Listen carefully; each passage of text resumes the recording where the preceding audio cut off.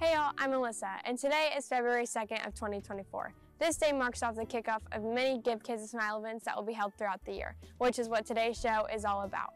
Before we start, here at GJ, our mission is to be prompt, polite, and prepared, and our vision is that every student graduates with the skills necessary to be successful in a college or career. ENN starts now.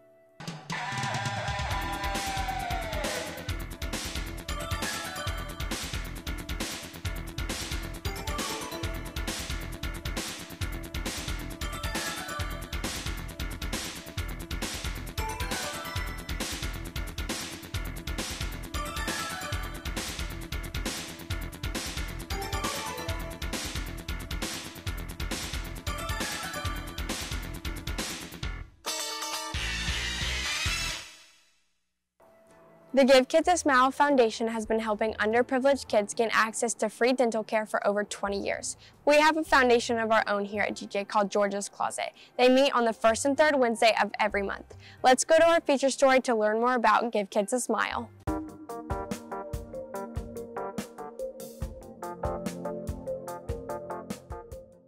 Give Kids a Smile is an annual program that provides dental care for all children all around the U.S.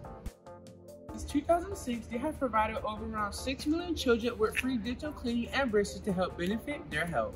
Getting braces made me feel a lot better about myself, and Give Kids a Smile is helping underprivileged kids get braces too.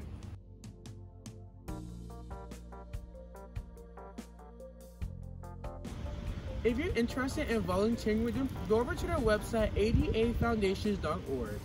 I'm Sean, and this is Saran reporting for ENN. Thanks, Jolena. If you want to learn more about associations like this, you can do so in GJ Reads Club that meets every Thursday in Miss Peterson's room from 2.05 to 2.40. Let's cut to a quick commercial about brushing your teeth.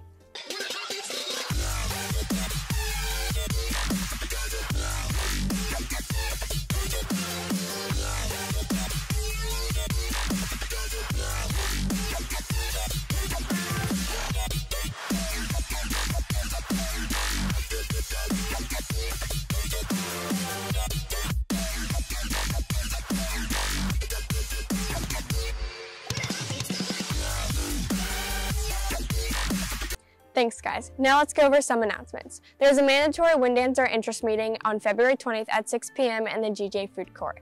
Grad Bash tickets are finally on sale. You can purchase them in Mr. Townley's room. See him for more information. Well, Eagles, that's all I have for today's show. I hope you learned something new. I'm Melissa, signing off of ENN.